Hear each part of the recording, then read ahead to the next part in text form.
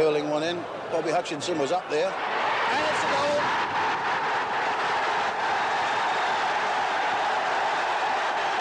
Riley gets the goal. Glyn Riley puts Bristol City in front. What a time to strike a minute before the interval. And that goal was without a doubt made by Keith Bell's centre.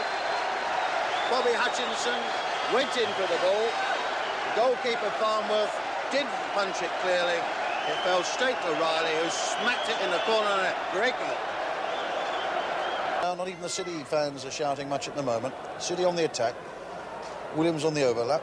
Wins it inside to Neville. Neville on his right foot. Has a shot. Well saved. Pritchard scores.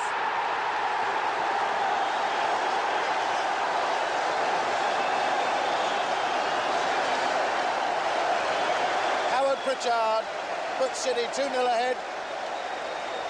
20 minutes of this match left. And now Bristol City have more than stamped their name on the trophy. Long ball for Neville. Looks good. Went behind Sutton. Neville with it. Neville against Sutton. Chips it. Riley! Goal!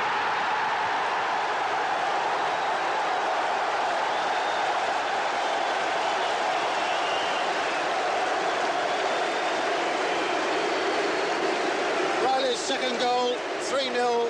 Five minutes to go. And the Bristol City fans going mad.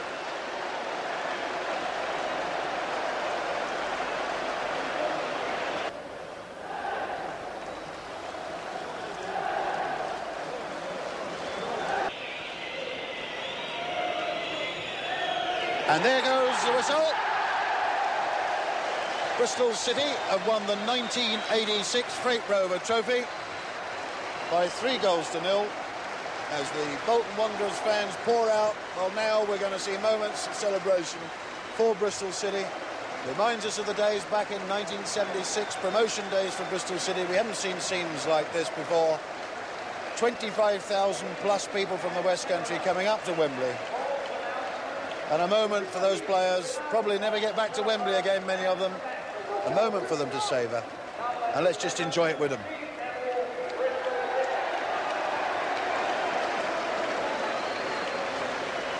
Just a few more steps to go. Apparently they count them. Shaking hands. Now the moment he's been waiting for.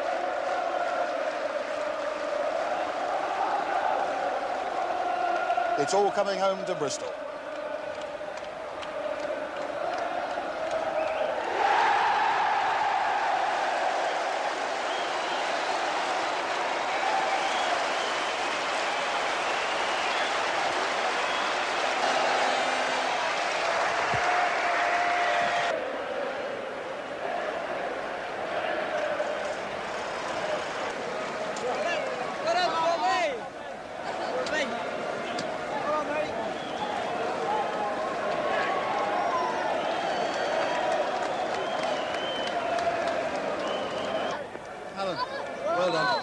Done. What a great day. Let me have a look at your medal, Rick.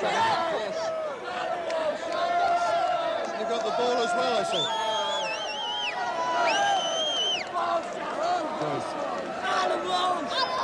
What do you make of the game, then? I think it was a, uh, a close game. I don't think the score reflects the, the game sort of thing. We got the goals, and that, that's what matters really. That's, What's it like playing out there? oh, unbelievable! It's like a carpet. Uh, it's like a bowling green. I'll let you get back to the champagne. Well done, mate. Thanks a lot.